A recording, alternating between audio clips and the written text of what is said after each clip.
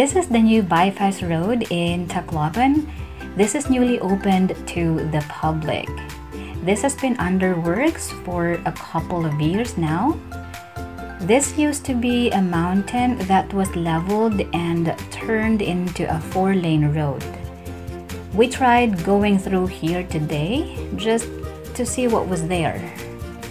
This new route is actually good because apart from no traffic, it's a good shortcut to other cities as well. The road here is much wider than the usual. It's an uphill road and it's nice and quite windy at the top. While driving here, you can see Tacloban below and Samar Island from across.